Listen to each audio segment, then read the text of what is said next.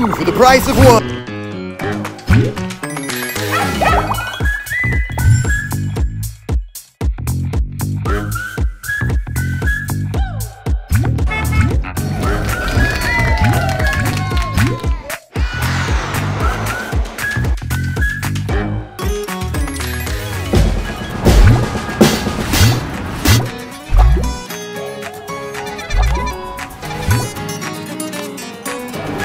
Hey, how's it going? Hey, Brian. Great.